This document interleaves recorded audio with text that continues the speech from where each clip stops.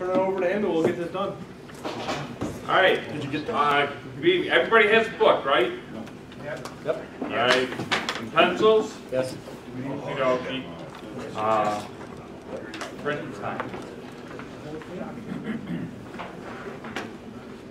All right, um, tips classes, training for in- intervention procedures for servers with alcohol. Uh, little background on me, I've got 38 years in at Clarence Center, so if you ever wander out there during Labor Day, you know, we have a large beer tent. Uh, beer tent chairman for about 10 years. Um, I also sell insurance, so I have the liability side of this as well. Uh, but anyways, why are you here? Your biggest exposure is your day room or your community room for your private parties. So, uh, the biggest thing you're gonna have to deal with is just about everybody that's in there when you're hosting a party, you're gonna have a knowledge of and know. And those are the hardest people to shut off, um, because you're always gonna get complaints from them. So, you have to be firm, okay, because seventy percent of the population consume alcohol. In today's legal climate, it's sue anybody for anything they can. And you, the bartender, along with the establishment, can be held personally liable, so they go after your personal assets. So you have to keep that in the back of the mind when you're serving somebody, okay? So, um, you're gonna learn about the effects of alcohol. How many people have not taken this the last time I taught class? Got any new people in here? Okay. You're gonna learn about the effects of alcohol. We're gonna show some vignettes on levels of intoxication, how to recognize them. Part two of the class was really fast.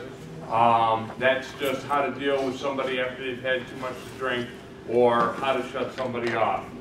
Okay? Uh, there is a quick review and there is a 20 question test that you have to pass, so pay attention. I've only had two people fail. One was the president of my fire company, took great pleasure in failing him because he fell asleep during the class. So, but that was it. Uh, you stay awake, you'll learn. So, uh, tips class is designed not to prevent uh, DWI, but to prevent public intoxication. Okay?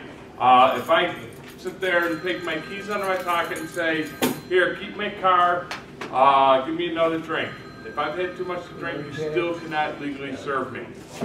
Okay? So it's not about um, preventing DWI, it's about preventing public intoxication. So skills, it takes uh, people skills to be a good bartender. How you uh, interact with the general public. You should always have a positive attitude when you go to bartend. If you have a crummy attitude, it's going to reflect and people are going to you know, treat you totally different. So um, everybody has some sort of people skills. Uh, the class should help uh, uh, improve your skills. Um, maybe teach you a few. The class was designed by a professional bartender, so everything you see on the screen uh, has been time tested and it works. All I ask you to do is that when you're looking at the stuff, uh, the examples that they use, put yourself in the bartender's position and think about how you would react in a similar situation. Okay, because it's all about your personality and how you deal with the public. So uh, you may think it's a little hokey how they do it, so try and figure out how you would do it at the same time. So uh, the goals of the class are to establish acceptable standards. Uh, how do you do it? It's a joint effort between management, which is the district that sets the rules. I'm sure it's the district that sets the rules, and not an individual. Um, and your uh, ability to work with the public, okay, working hand in hand. You have to follow the rules, they have to follow the rules, okay? Um, let's see. Uh, in the rules, I don't know exactly what rules are there, but you want to make sure in some of the rules that you've got a couple of things posted. Number one, 21 to consume, okay? Uh, number two, and I don't see this a lot, but I'm trying to push it, two forms of ID. Because if somebody is at the function and um, you don't like their ID, uh, if you ask for a second form of ID, and they don't have it, it's your first way of saying, I'm sorry, I can't serve you, okay?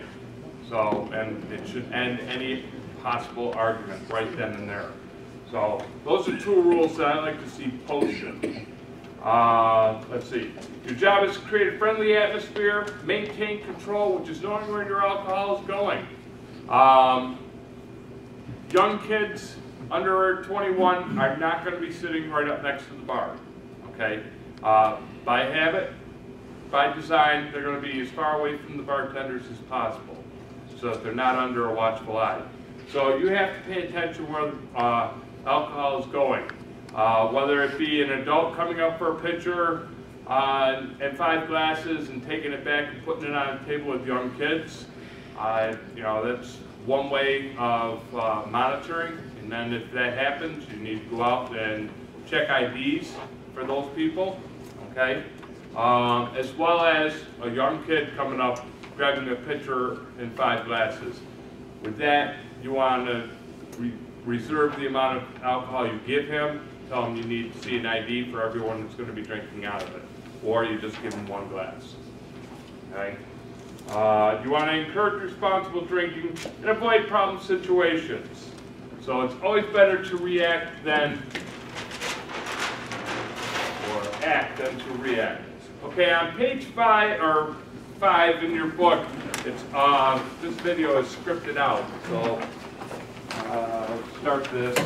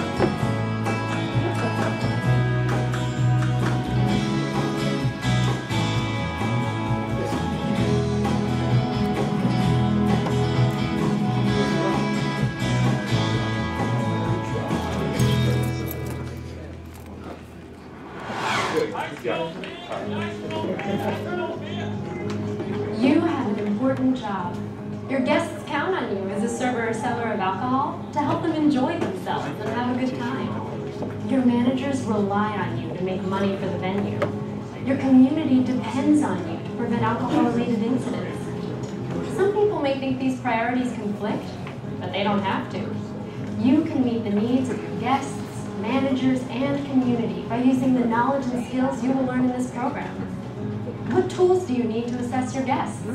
How can you help them enjoy the events they attend and keep them from becoming intoxicated? How can you provide great guest service? And what techniques can you use to quickly deal with problems that do come up? These are just some of the questions we will address during this session. TIPS is designed to help you build on the people skills you already have. You will add knowledge and skills geared specifically toward preventing alcohol-related problems and taking care of your guests. Building on those skills, you will learn how to spot the four behavioral cues that can tell you if a guest is approaching intoxication or is already intoxicated. You will learn about six intoxication rate factors that affect how quickly a person may be affected by alcohol. You will also learn about blood alcohol content, or BAC. And finally, how tolerance may make it harder to assess your guests. But being able to spot behavioral cues and intoxication rate factors isn't enough to handle problem situations. That's why we will also give you guidelines for dealing with almost any problem that comes up while you are working in stadium venues or selling in the aisles. Many people drink alcohol when watching a game, attending a concert, or enjoying a festival. Most people use alcohol responsibly, but some don't. Their drinking gets out of control, and so do they. You have to be able to size up your guests. This will help you decide whether or not to serve them. One way to size people up is by the behavioral cues they display. Four basic cues can tell you when a person is, or is becoming, intoxicated. When people drink even small amounts, they tend to experience lowered inhibitions. They become more relaxed and talkative. They may even experience mood swings. As they drink more, they shed more of their inhibitions and begin to show the second cue, impaired judgment. When their judgment becomes impaired, guests' behavior becomes socially unacceptable. People with impaired judgment may start using inappropriate language or begin throwing things from the stands. And because their judgment is impaired, they tend to overrate themselves. Impaired judgment can also cause intoxicated guests to think that they're okay to drive when they're not. The third cue, slowed reactions, means that the thinking process has been affected. People with slowed reactions may lose their train of thought. They may forget that they have ordered another drink or where they're sitting. This cue also shows up in a guest's glassy, unfocused eyes or in slurred speech. The final behavioral cue, loss of coordination, can be seen when guests stagger, or stumble, or spill drinks, or fumble with their change. Guests may have trouble standing at their seats or begin to bump into people sitting next to them. Drinking alcohol has progressive effects. The more a person drinks, the more cues you are likely to see. Intoxication rate factors affect how quickly a person becomes intoxicated and displays behavioral cues. There are six intoxication rate factors. The first is a person's size. Larger guests may be able to drink more without being as affected as smaller guests. However, if the larger guest size is due mostly to body fat, the reverse can be true, since body fat does not absorb alcohol. The second intoxication rate factor is gender. Women are typically smaller, with a higher percentage of body fat, and tend to become intoxicated faster than men. The third factor is the rate of consumption. The faster a guest drinks alcohol, the more quickly the guest will become intoxicated. The fourth intoxication rate factor is strength of the drink. A straight up drink will be absorbed more quickly. A drink diluted with water will be absorbed more slowly. Remember, however, that any carbonated mixer may increase the absorption rate. It is important to understand that each of these drinks has about the same amount of pure alcohol.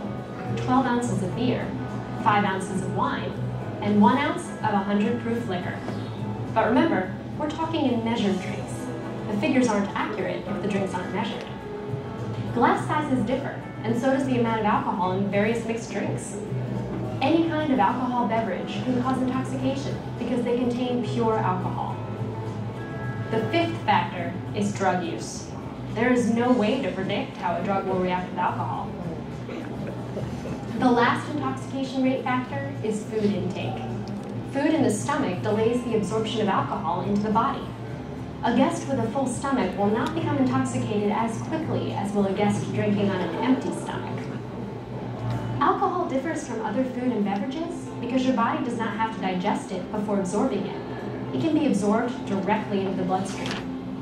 So, how do we measure the intoxication level for a given person? Behavioral cues are your best way to assess visible intoxication, which can be grounds for arrest regardless of the amount of alcohol actually consumed. Most laws rely on what is called blood alcohol content, or BAC, to determine intoxication. BAC is a measurement of the amount of alcohol in a person's blood. Every jurisdiction has a legal BAC limit, at or above which it is illegal to operate a motor vehicle. BAC levels can be accurately measured only by a blood test or by breathalyzers. As a server or seller of alcohol, you will want to note some key points about blood alcohol content. The more alcohol a person consumes, the more behavioral cues you are likely to see, and the higher the BAC level will be. A guest's BAC level can be different each time he or she drinks, even when the number of drinks is the same. Intoxication rate factors affect how quickly a person's BAC level rises. Time is the only thing that can lower a person's BAC level. By relying on a guest's behavioral cues and intoxication rate factors and your understanding of BAC, you should be able to assess each guest you serve. Of course, tolerance can make assessing your guests a little harder.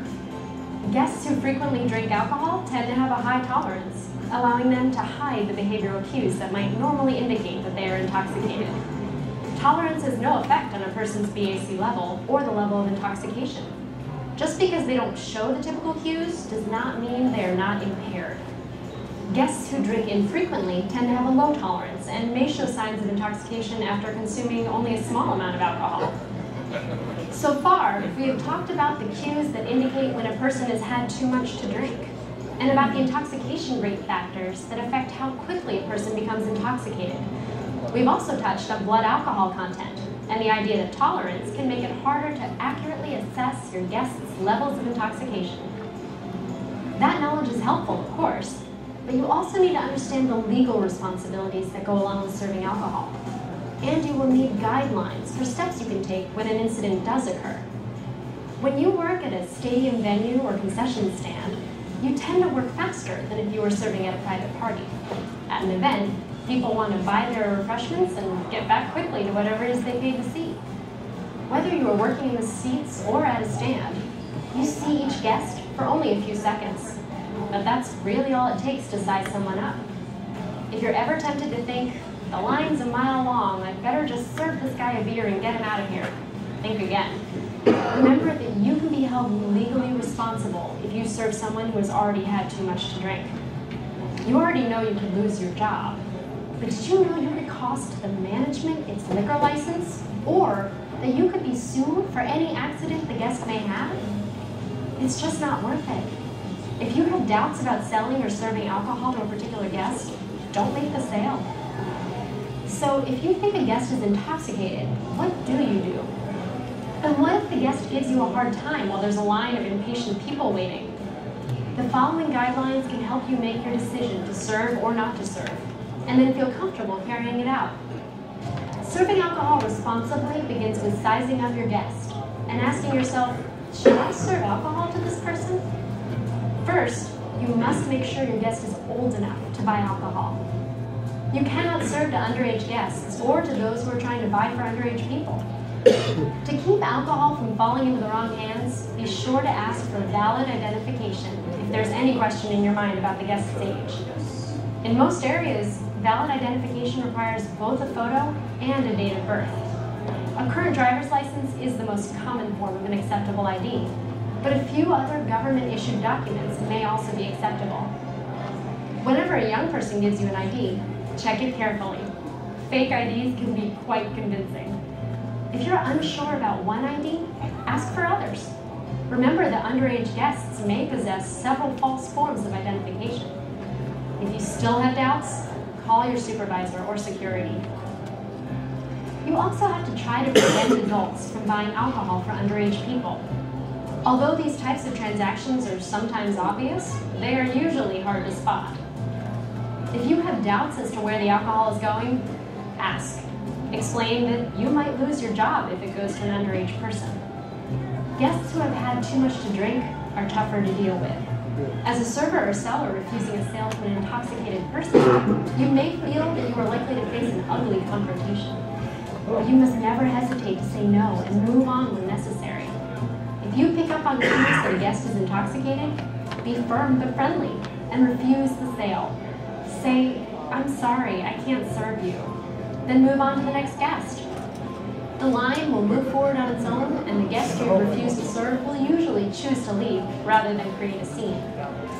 If the guest asks why you are refusing to sell alcohol, just say, I am not legally allowed to sell you any alcohol, and explain that you would be risking your job if you do. You might even offer the person a soda instead. Above all, avoid provoking the guest. A comment like, because you're drunk, that's why, is sure to make a bad situation worse. If the guest does create a scene, call for your supervisor or security personnel to back you up. Another way you can help your guests enjoy alcohol responsibly is by applying safe selling guidelines.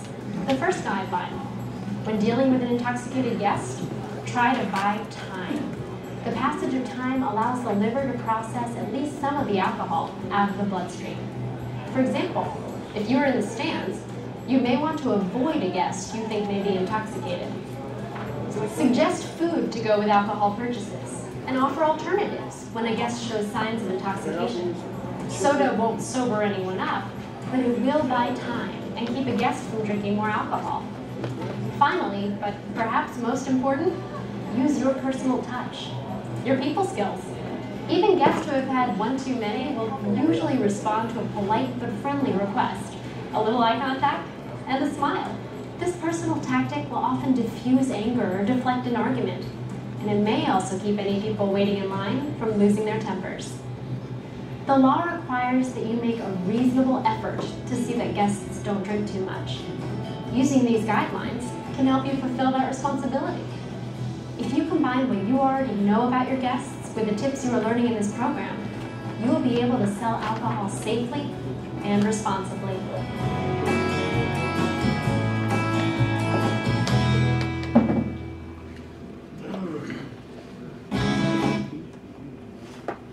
Okay.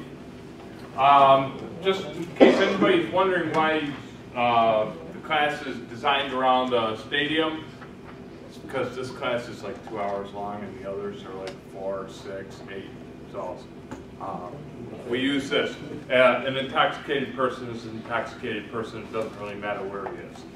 Okay. Okay. So let's do a quick review. Start with behavioral cues.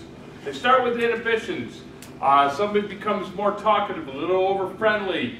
Uh, they become more relaxed. From there, they move into judgment. It's all progressive. Judgment could be anything uh, where they start using foul language, which is out of their norm. Okay, there are people that just use it all the time, but you know, um, they may tell off, off-color jokes in mixed company as well. Uh, reactions. This is when you need to start to pay attention. Every time you serve somebody, uh, you should be making idle chit-chat with them, okay? Especially the first time, and never assume that the first drink you serve somebody is the first drink they've had that day, okay? But you want to set a baseline the first time you serve somebody. Get an idea of where they're at. Uh, are they already starting to slur? The first thing that goes are the eyes, so you want to make eye contact. Their eyelids start to droop, they become uh, unfocused and red, okay? Very tired looking. So always make eye contact, always have some chit chat with them. If you notice that the reactions to glassy eyes or slurred speech or deliberate speech, um, you know, it's time to slow them down right off the bat, okay? Um, last, coordination. Somebody stumbles up to the bar, you don't really need to serve them, okay?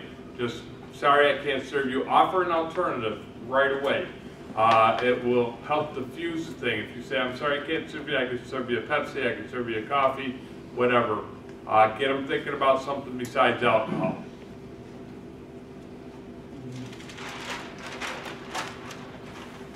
BAC is blood alcohol content.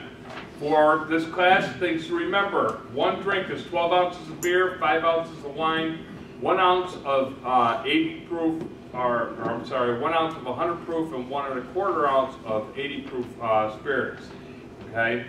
Uh, your liver can only process one drink an hour. It doesn't matter how large or small you are, it's not going to work any faster, okay? If it's damaged, it'll work worse. Um, some examples to remember, if you had a 150 pound man consuming four drinks in an hour, they would have a BAC of approximately uh, 0.10. If you had a 150 pound man and a 150 pound woman drinking the same amount of drinks over the same amount of time, the female will reach a higher BAC faster than the male, primarily because they're smaller, uh, or in this case, she would have a higher percentage of body fat because the weight is the same. Uh, if you had a 150 pound man and a 120 pound man drinking the same amount of drinks over the same amount of time, the 120 pound man would reach a higher BAC faster than the 150 pound man due to his size.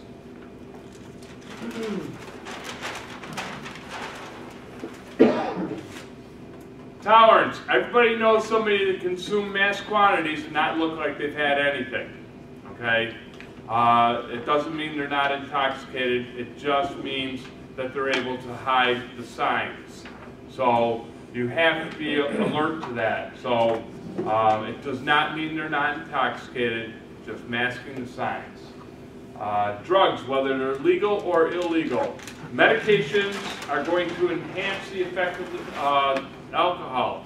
If somebody comes up to the bar and you know they're they're have a definitely have a cold, they look ill, um, ask them if they've taken any medication. I'm not telling you to refuse to serve them, but get a baseline for what kind of medications they've taken for the day, um, and keep an eye on them.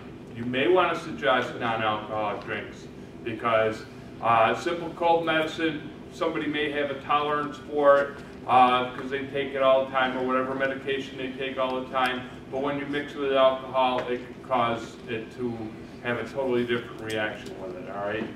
So, um, somebody may pass out right away just from, you know, because they had, uh, medication and they're, now they're mixing it with alcohol. ID guidelines.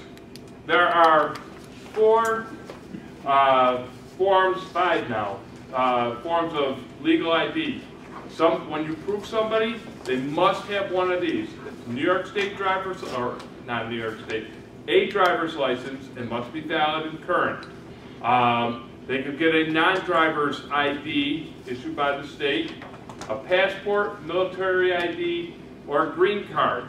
They must have one of those as their primary ID. Now, in New York, you have at least probably five IDs for New York driver's license because you have uh, the brand new license, it's got the dual photos on it. Then you have the license prior to that. It could be an enhanced license, which has additional features. Um, and you could have the state issued ID. And I don't know if the new driver's license has an enhanced feature or if that's just enhanced period. Um, so uh, know what they are. Uh, you should, uh, if you don't have one of these books, I encourage you to contact It or take a trip out to Try It. I know they carry them. I don't know about any other distributors, but I would almost bet they do because Budweiser puts them out, and I think Miller puts them out as well. Um, yeah, this one's put out by Miller. Uh, but the beer distributors have these in hand. And every driver's license in the United States, and if the state has multiple licenses, they're in here as well as a minor ID. And uh, has the U.S. territories, Canada, uh, that should take care of everything that's around here. So if somebody comes up, they hand you a Montana driver's license, you don't know if it's a real license or whatever, you could actually go into here and it will show you all the security features that are built into that license. Uh, UV lights work great in pulling up the feature, special features. But when you're proofing somebody, okay, first thing you have to do is take it out of their wallet. You have to have it in your hand because you want to make sure it hasn't been doctored, right? If it's gone through the washing machine, that's a, that's a sign you need to probably look a little closer. Uh, if you don't like it, as I said before, you want a sign that says two forms of ID required, and uh, if you don't like it, ask for a second ID. If they don't have it, that's your first sign that you can say, I'm sorry, I can't serve you, okay?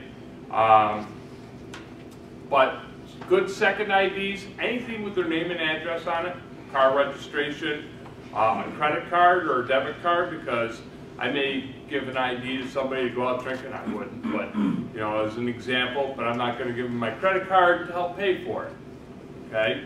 I'm not that nice. Um, so, uh, military, or not military, but permits that have photo IDs, or any other ID that has a photo, while it can't be the primary, it can be a sufficient backup ID, okay? Uh, and if you don't like any of that, the other thing you should have behind the bar is a logbook. This one's not any good because I can tear pages in and out. But if you got a book um, that had actual number of pages, okay, it's a bound book with number of pages, blank. Um, every time there's an, uh, uh, a party or uh, an event here, whoever's bartending should sign in, okay? Time it when they signed in, during the course of the evening, if they have to proof somebody and they don't like their ID, whatever, uh, you could also sit there, put the book out and say, okay, take their ID, set it down on the table, ask them to sign, sign in, I verify I'm so-and-so, uh, date of birth, blah, blah, blah, and have them sign it. They may have memorized all the information on it, never practiced the signature, okay? So watch to see if their eyes leave the book where they're writing to check the signature on the driver's license. Okay? Ask age-specific questions the whole time um, that you're talking to them. Age-specific questions. You don't have to know what year they graduated from high school. Okay? but they know, and it should roll off their tongue, okay?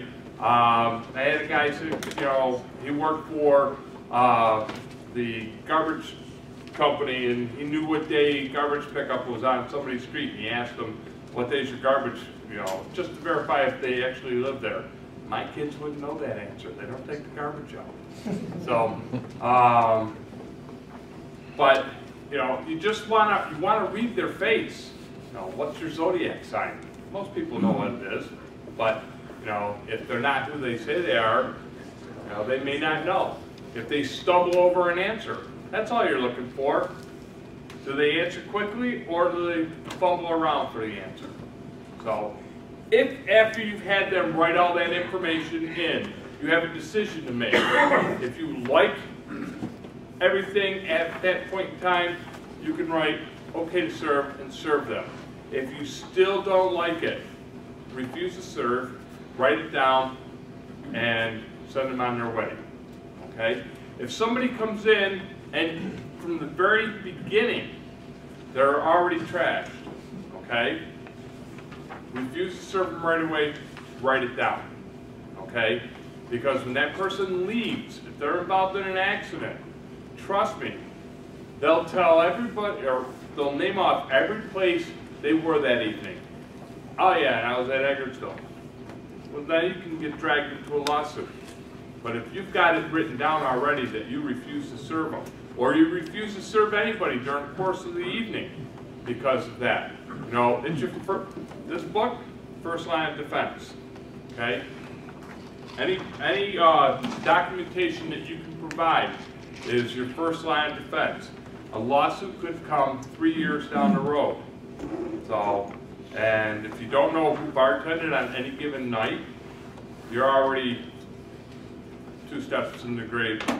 The other one's on a banana field, So, okay, so must be current. You must take it out and have it, examine it in your hands.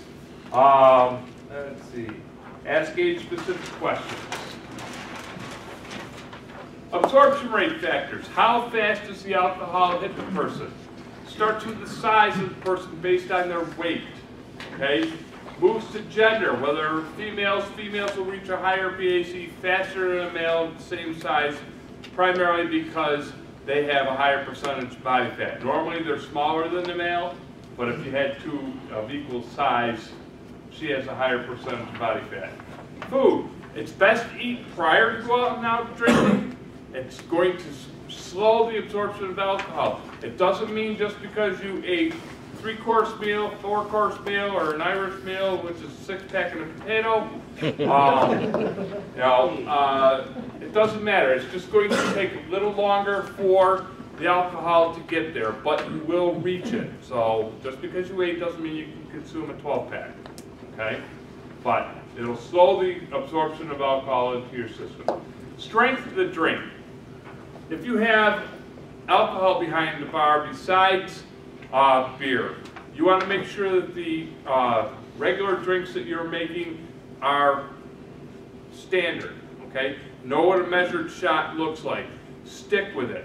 Don't go all over the board because if you're of the mind to count drinks and okay, first shot, oh, heavy, first time he's here. Next time, you know, he liked that one, do it again. And then you, now you have no idea how much alcohol you've actually given him.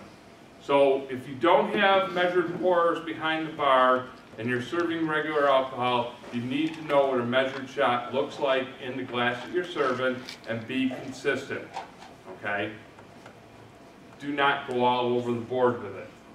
So, rate of consumption. Are they, when, when you see this, and you will see this on test, I believe it's question on there. When they talk about gulping, they're talking about chugging one, one after another, okay? So, um, is, is the person coming back every 15 minutes, every half hour, you know, 45 minutes, whatever? How fast is that person consuming and coming back to see you? All right, if they're coming back every 15 minutes, you gotta slow them down. All right. Uh, the mood of the person plays a definite role in uh, how alcohol will hit them. Somebody can have the best day of their life, and it's just like tolerance. They, you know, they don't show any signs of being intoxicated. Contrary, they can have the worst day of their life, and, you know, two beers make them look like they've had ten.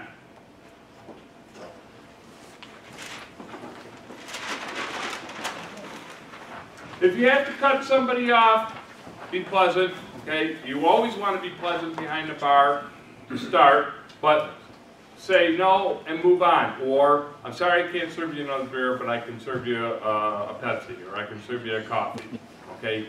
Give them that alternative. Uh, food on the bar, snacks, you know, most snacks are salty, not a good option. Salty food makes them want to drink more. So, uh, but give clear reasons. Your fire department, there's no clearer reason that you don't want to go out and scrape them up off the road 45 minutes after they leave. Okay? Very easy to get that through to them. Um, if they give you a problem, call for backup. Backup could be another bartender, uh, the manager, the host of the party, last resort police.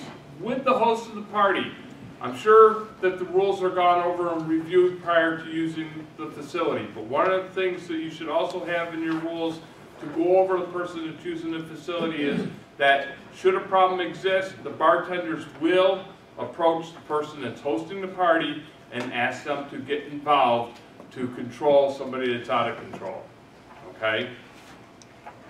So, um, also, um, host of the party, just for you knowledge, just because Junior's 20 and turns 21 in two months, Junior cannot consume, okay?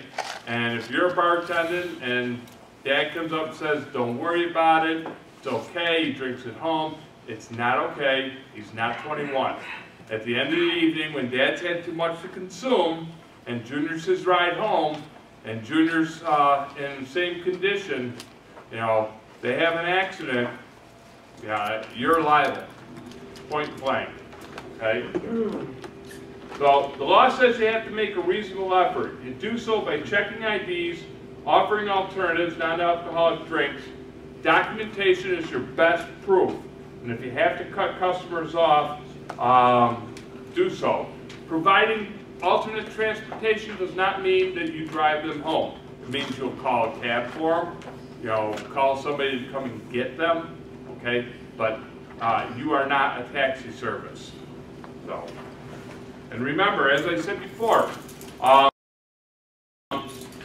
if they give you your keys, that's great, take them, okay? But you cannot serve them because I'm a mean, nasty drunk.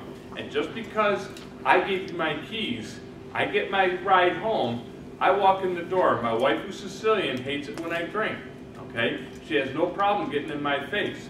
So if I backhand her and knock her teeth out, okay, I've now caused bodily injury to a third person with my hand. I didn't do it with the car, did it with my hand, and it's bodily injury to a third person.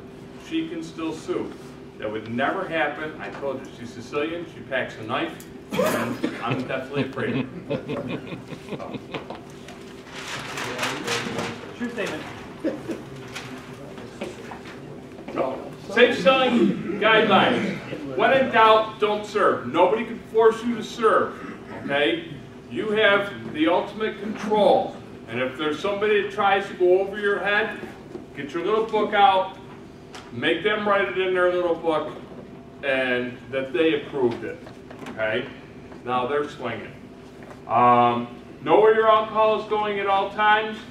Buy time, limit the number of drinks. If your hours of your bar are closing at 11 or closing at 12, there's no last call. You just close, okay? Because what happens at last call? Everybody stocks up, okay?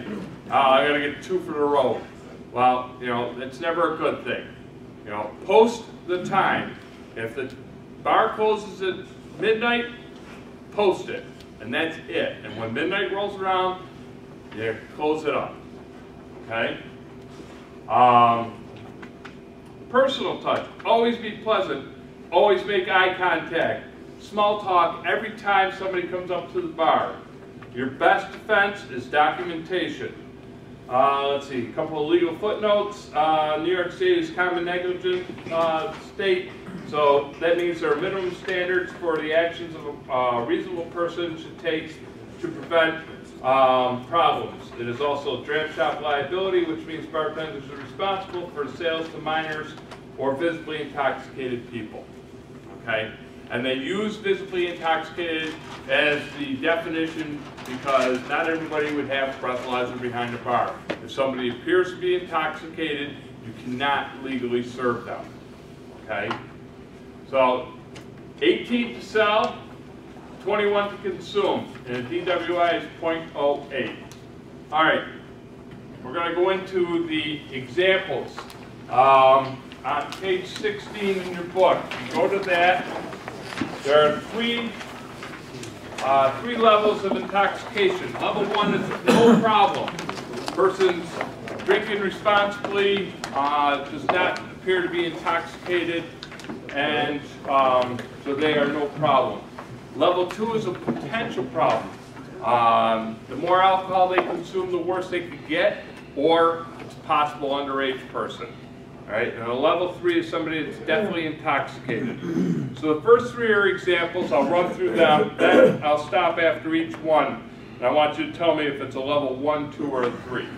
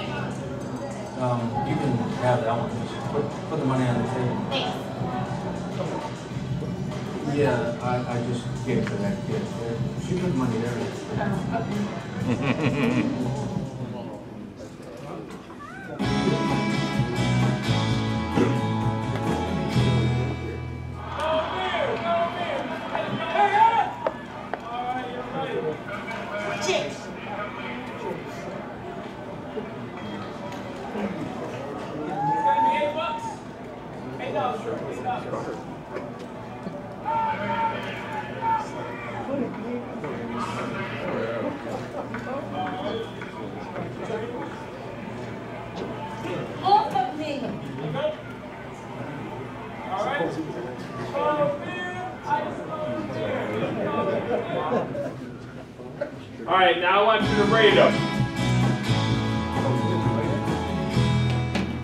Hey girl, look, have you seen that tight end that y'all got?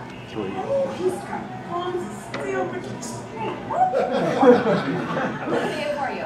Um, give me a couple of hot dogs and, uh, you know, give me a couple of those, uh, specialty drinks that you make. Sure. Yeah, yeah.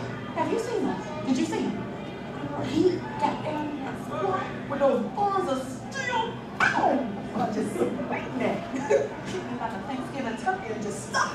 stuck there. Wow! What's the up to? Um, thirty-five dollars. Thirty-five dollars. All right. Yeah. You know I can make all this at home for ten, right? All right. With Robert. Thank you, Miss Helen. And you keep an eye out for that tight end now. All right, one, two, or three? Two. Three. Anybody at three? Okay, why is she at three? Completely inappropriate speech beha- behavior. Did she appear intoxicated? No. Okay, anybody rate her a one? I talk about women's health all the time. We got a couple of ones, why was she a one? She's talking clearly and stumble on words and stuff. Okay. Who rated her a two? Why? Okay, that's possible, you didn't know where the second drink was going. She was borderline. All good. All right, they rated her a one because she was ordering food, drinks, uh, eyes were clear, speech was perfect. Um, I would rate her a two because there's just too much information coming out of her mouth. Uh, but that could be just her, okay? But uh, definitely not intoxicated.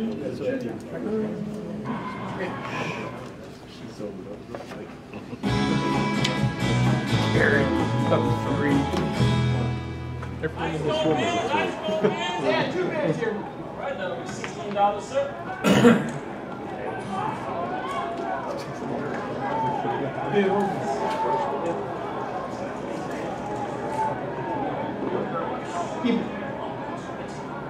Okay. Cold beer.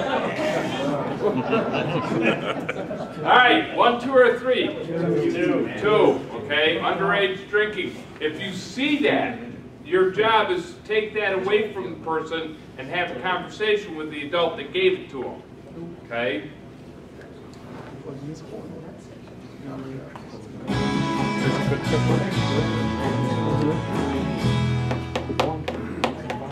Hey, thank you, Emma. Here's twenty. You keep the change. You have yourself a Excuse wonderful me, day. excuse me, I'm looking for old Can I get a Where do you think you are, lady? All these people standing in line, and you're just gonna jump in It's front? none of your business. You have your beer. Oh, I don't think so, there, lady. We gotta go, man, we're missing a game. So my beer. Sorry, I'm looking into it. All right, one, two, or three? Three. One, he's from Buffalo. Yeah, we're grading the guy. So, two, one, he was friendly until she came. Two. Two. He's a friend. He's a All right, all right, who rated him a two and why? Nobody gets a one. Aggressive behavior. Okay, he's aggressive, all right? So he's somebody that needs to be watched. And the more he consumes, the more that personality is going to be enhanced, okay? They generally don't improve. So, do you have a question on that one?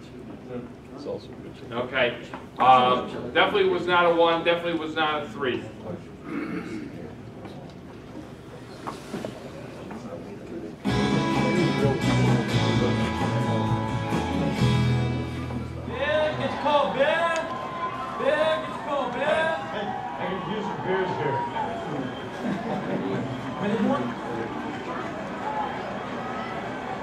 It's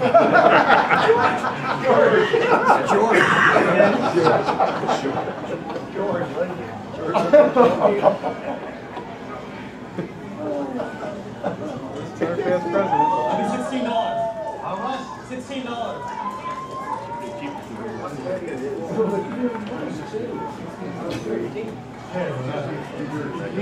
Thank you, thank you.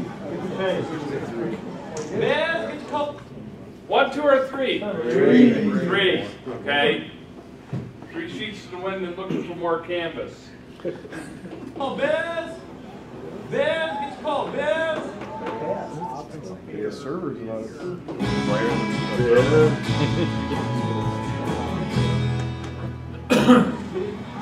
Hi. Oh, whoa, whoa. Can you fill these up?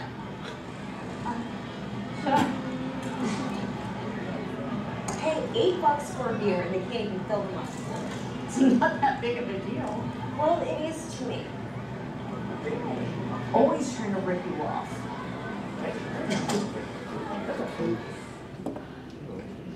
Typical. One, two, or three? One. That's a one. We got a one, any threes? Two bagger. Any twos? They rated her a two. Also, somebody to watch, okay?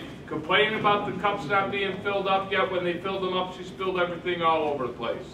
So, uh, that attitude, once again, will uh, be enhanced with the more that she consumes. Now, when you have somebody like that, or the first gentleman that blew up, um, you need to have a conversation with them, calm them down, or explain to them that they would have to leave, okay? Because your job is to create a friendly atmosphere. Those people aren't going to help make it happen, all right?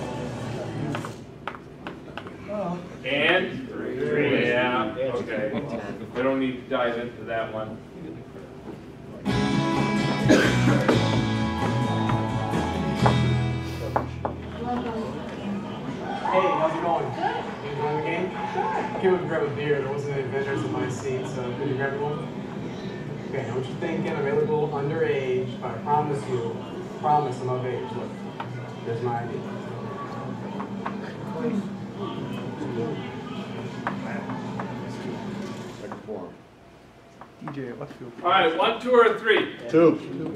Two, somebody comes out and offers their ID that fast, um, just check it, make sure it's good, uh, be extra careful. Could be they got a baby face and approved all the time, so, you know, um, it's just, just be leery. Uh, they could have just turned twenty-one, so, uh, all right, we got three more. We're just run through these three, and then I'm not gonna stop it Okay, after. uh, let me have two beers. Oh, sure. That'll be sixteen dollars, sir. All right.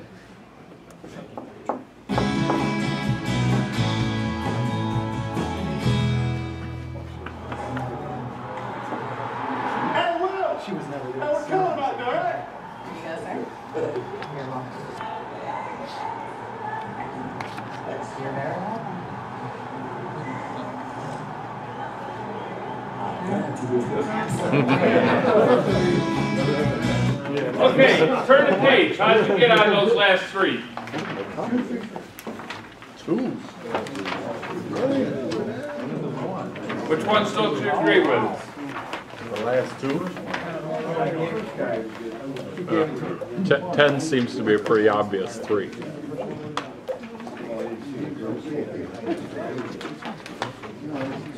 All right, the reason, let's see. Uh, Good reaction and coordination. number eight, if you didn't catch it, right at the very end, the guy handed off a beer to a girl standing on the side. That's why they rated it as two. Okay? So possibly underage. Uh, two in the, number nine was two because when they first panned through the room, there were three kids sitting up against the table, one maybe 12 years old, okay? So definitely also possible underage uh, drinking going on there. And the last one, just committed all kinds of beer sins, double stacked cups, beer all over the place, wasted. So, all right, you want to take five minutes or, well, I was gonna say, take it, to- my watch says you got four minutes to eight. So, you want to take four minutes to stand up, stretch your legs? Okay, now that you know what an intoxicated person looks like, how do you deal with them?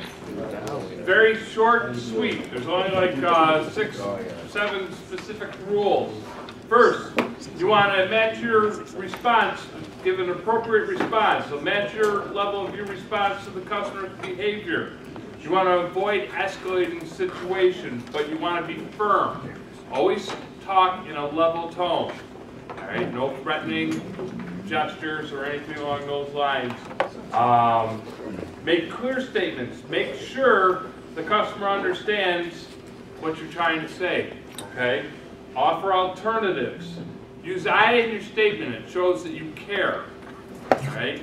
Uh, whether you do or don't, it's important that they think you do. All right. Um, let's see. Be non-judgmental. No put-downs.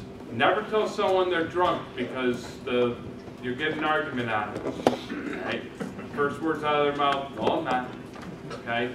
So never put them down. Never use the term drunk or, or anything along those lines. Okay? Uh, no threatening behavior. Don't point your finger. Don't glare at them. Okay? Don't go nose to nose with them. Don't raise your voice. It's all threatening behavior. And it'll get an argument back out of them. Always smile. It's disarming. Makes you think what's really going through your head. Okay? Uh, judgmental statements are perceived as put downs to promote defensive behavior. So you want to give reasons, uh, make the guest understand you're following laws and rules and not singling them out. It's very important that they understand that it's the law. Uh, provide good service and indirect strategies when appropriate.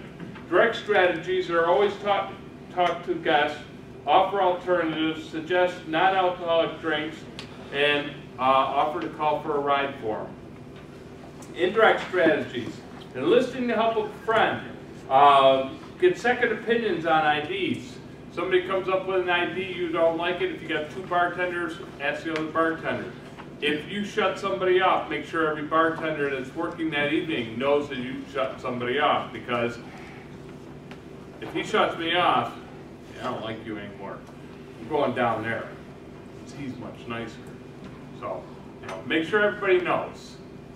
Um, limit the number of drinks at one time, especially towards the end of the evening. You definitely don't want to, you know, give somebody two drinks uh, because you're going to be closing in five minutes. Okay. Um, let's see. Uh, know where your alcohol is going. Can't say any more about that. So, what did I say? Six? There. Six. All right. So now we're going to go. Um, that is part two. So we're going to go to um, judging the bartenders. All right. So you got a 50-50 shot at getting them right this time. Uh, level one is an ineffective response to the bartender. They're not doing the proper job, whether it be they serve somebody, don't proof them, whatever. Level two is an effective response. This is where I want you to pay attention to how you would act in a similar situation uh, if you were the bartender. Okay, you may think what the bartender's doing is a little hokey, but put yourself in that position and think of how you would handle it.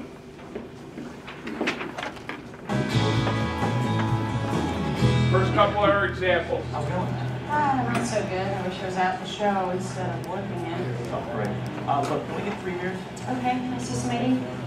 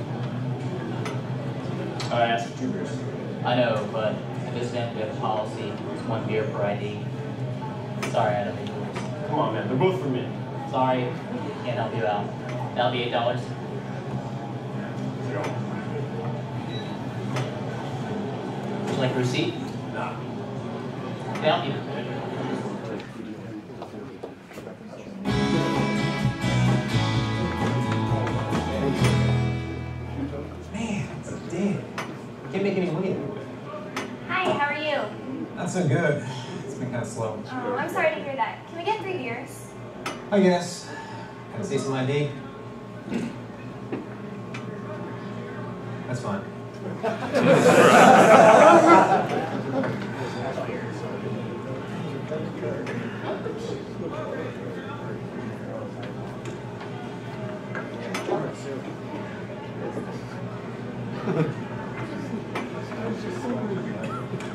That'll be twenty-four dollars. I'll keep the change. Thanks. Effective or ineffective? I should have stopped the last one. Okay, ineffective, why? He didn't really check IDs. Okay, did not check IDs. Your IDs have to be in your hand to check them thoroughly. You can't, I don't know about your eyesight, but I can't read something that's more than three feet away from me.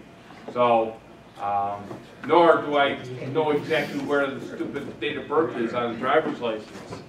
So, uh, in your hands,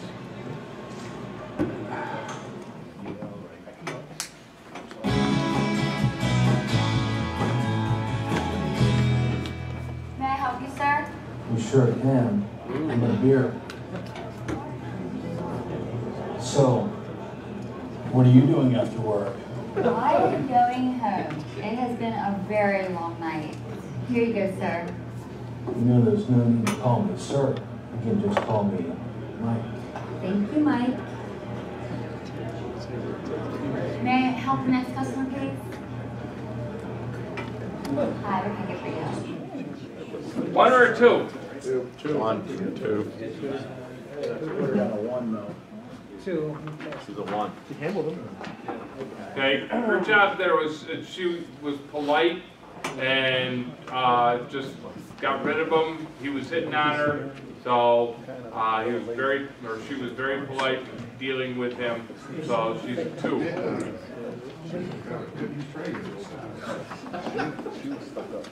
Or Mike.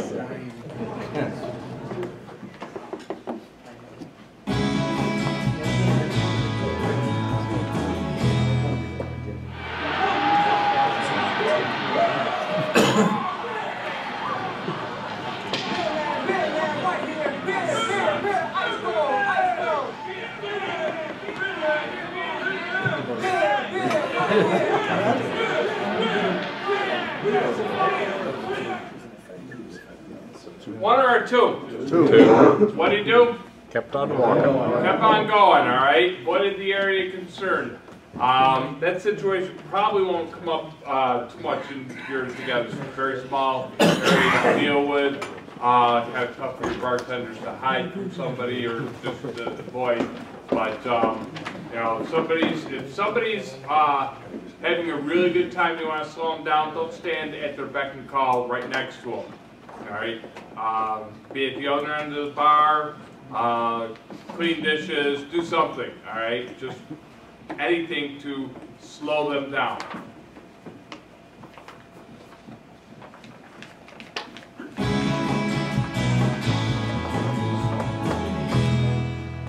Oh! Yeah, right! Man, man, switch head. Oh, that bear. Hey, that's your buddy, right? Yeah, yeah, don't, don't worry, it's harmless. Yeah, see, uh, but look, I know you're the one that's in control. He's cool, but I think he's had a little bit too much of it. Maybe you can buy a little bit, calm him down. Yeah, what do you want me to do about it? I mean, I just don't want you guys getting kicked out of the game. I can't serve them any more beer. Okay, don't worry, I'll, I'll take care of it. Gotcha. Appreciate it, man. Hey, hey Gary, Gary, Gary, just a second. One or two? Two. Two. What do you do? Okay, listen to help of the friend. Talk to them. It's a lot. A lot of times it's easier. to Talk to the sober guy who knows how to deal with his friend. So you know, you, if at all, you know, if you can, try and go that route. May prevent problems.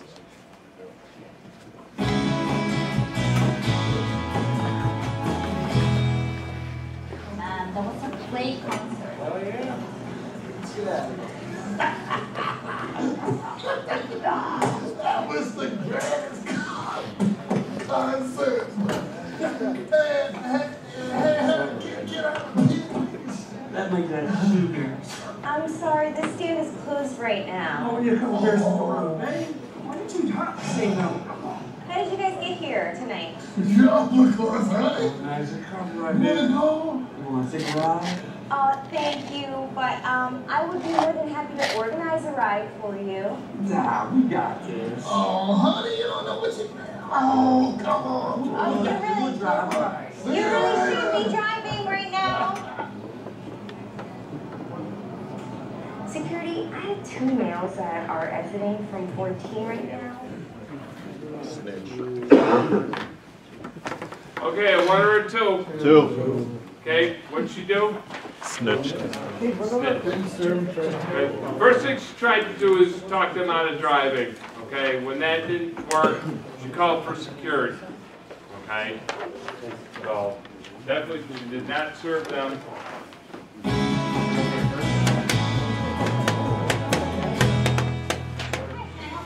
Yes, I'd like two beers, please. Uh, $18. Sure.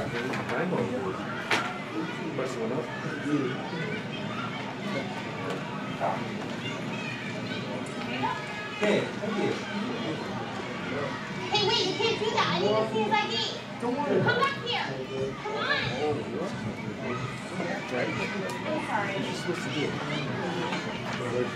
I'm sorry. One or two? One. Why? You didn't ask who was the second beer for.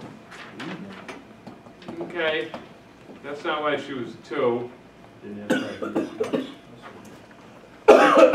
When she realized, saw the handoff, she did nothing about it. Right? Gave a couple of squeaks, you know, hey, you can't do that, blah, blah, blah.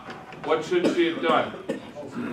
Called security, okay? Um, in a situation like that, your job is not to jump out from behind the bar and go tackle somebody, all right? Your job is to call for security, let them tackle somebody, okay?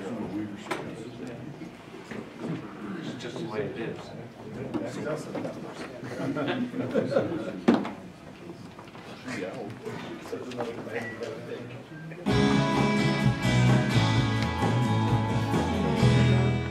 What can I get for you guys today? Uh, we need six beers. Okay, I just need to see some ID, and it's one beer per ID. Oh, that's okay. We brought our IDs and then we brought our four friends' IDs. I'm not sure if I can do that or not. Checks in the mail. Last time we were here, we actually spoke with one of your supervisors and they said if we did it like this, it was okay. Yeah, why else will we bring IDs? Okay, I'm sure we'll be okay.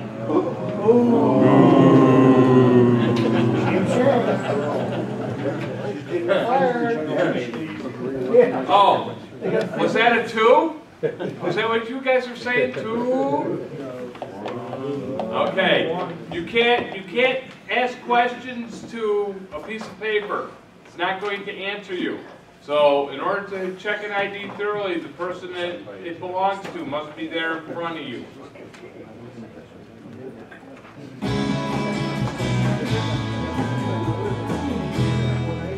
Uh, just one, please. Sure, can I see your ID? Uh, yeah, no problem. Can you do that for? Yeah, sorry about that. Okay. How old are you? 21. And where do you live? 1655 Macomb Street. And what year did you graduate from high school? Uh, I graduated, I, like, 2008.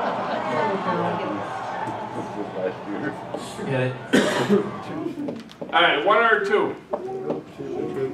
Okay, two. Uh, she's asking questions, uh, just read in his face, okay? Hit him with a trick question, probably never graduated.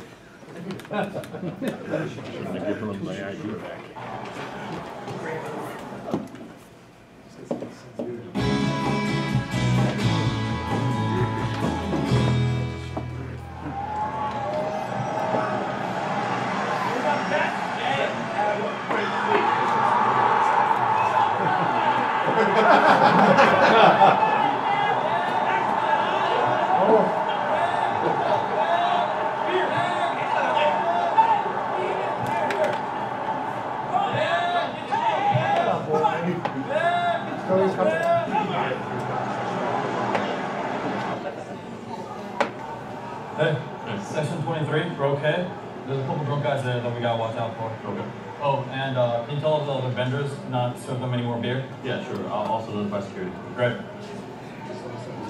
Call Homeland Security. Potential issue in section three, we're okay. There's a tower trip.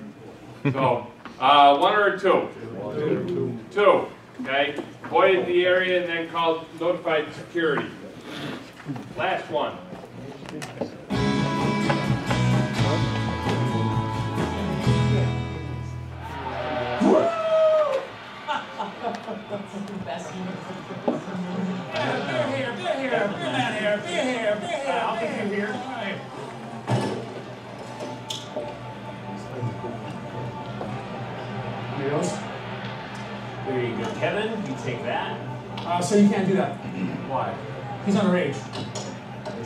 Take full responsibility. I can't allow that, so I need that beer back.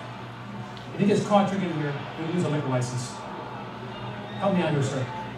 Security comes through and will boot both you up. Hey, okay. Eight dollars, sir. And does a favor. Don't give me any beer. Thank you. Beer man here, beer man here.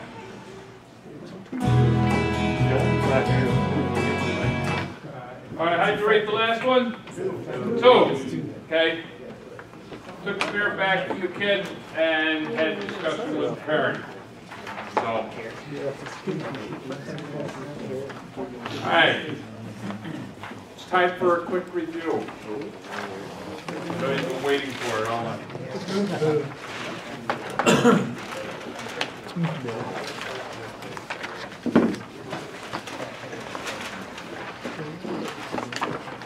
Okay, seventy percent of the population consume alcohol.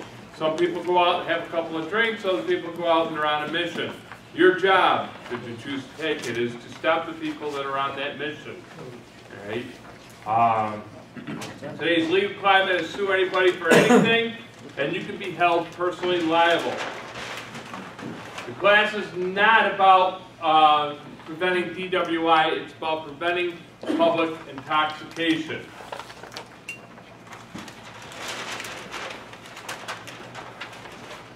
Okay, with management's rules and your people skills, your job is to create a friendly atmosphere, maintain control, and encourage responsible drinking.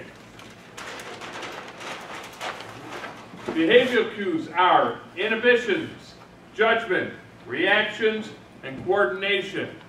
Those are behavioral cues. BAC is blood alcohol content. A drink is considered 12 ounces of beer, 5 ounces of wine, 1 ounce of 80 proof, or 1 ounce of 100 proof spirits, 1 and a quarter ounce of 80 proof spirits. Your liver can only process one drink an hour. A couple of examples to remember, if a 150 pound man consuming four drinks in an hour would have a BAC of 0.10. If you had a 150 pound man and a 120 pound man drinking the same amount of drinks over the same amount of time, the 120 pound person would reach a higher BAC faster than the 150 pound male. If you had a 150 pound man and a 150 pound woman drinking the same amount of drinks over the same amount of time, the female will reach a higher BAC faster than the male. Okay?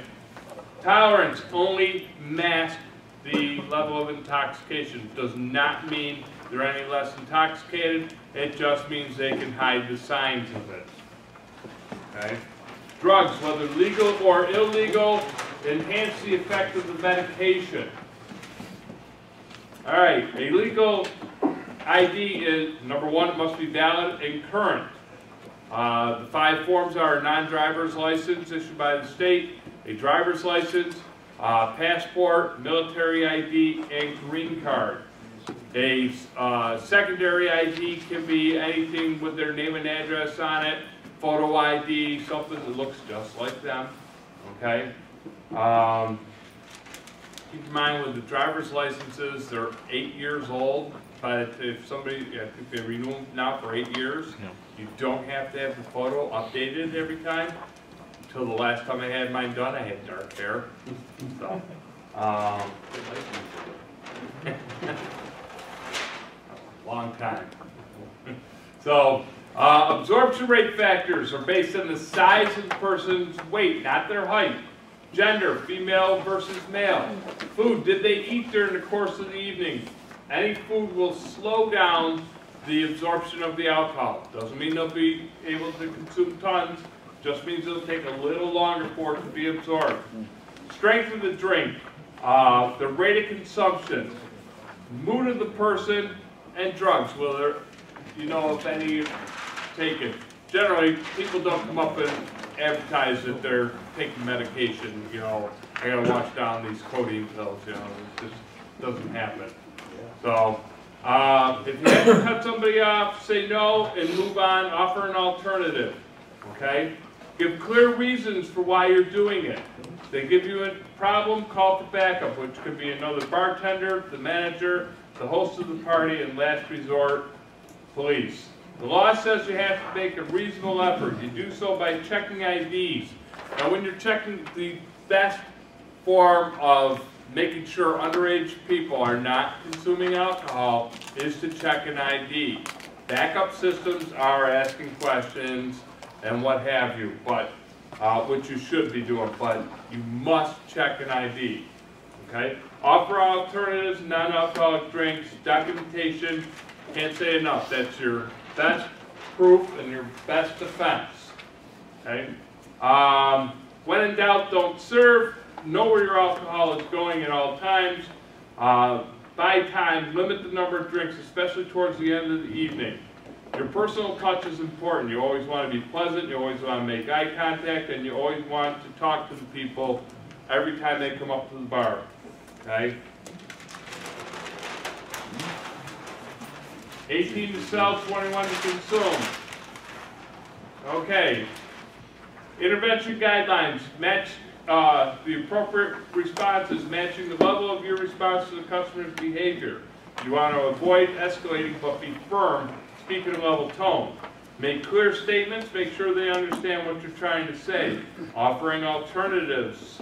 Uh, use I in your statements. It shows that you care. Okay. Be non-judgmental, non-threatening. Never put a customer down, no threatening gestures, always smile. Uh, give reasons for your actions. Uh, provide good service and indirect strategies when appropriate. Direct strategies are always talking to the guest, offering alternatives, suggesting non-alcoholic drinks, and calling for a ride. Indirect strategies are enlisting help of friends, second opinion on IDs, limit the number of drinks at any time, um, always keep your staff informed, uh, and know where your alcohol is going at all times. Are there any questions? Wonderful. Okay, um, I'm going to hand out the test.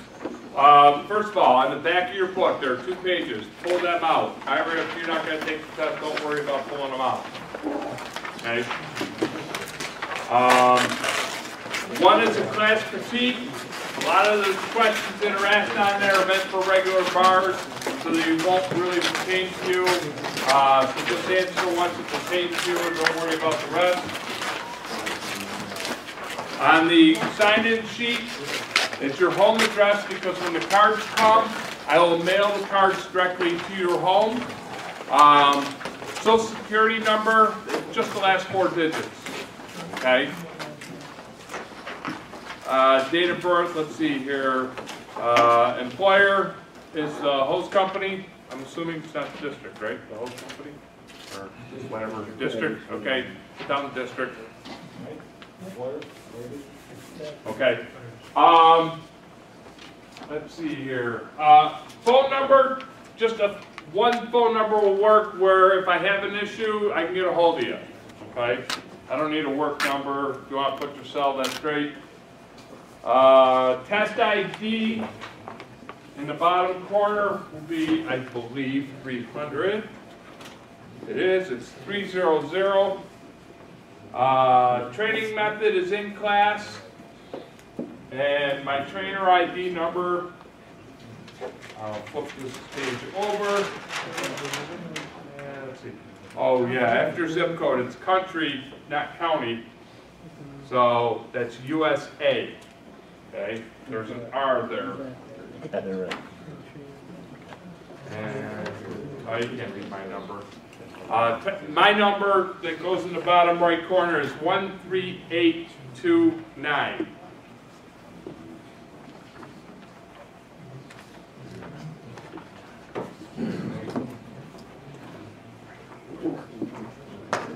All right. Now, Going to hand out the test. I make this statement on every class. Do not write on the test. Only put your answers on your answer sheet. If you get a test and somebody wrote the answers on the test, they weren't listening to me when I said do not write on the test, which means they probably weren't listening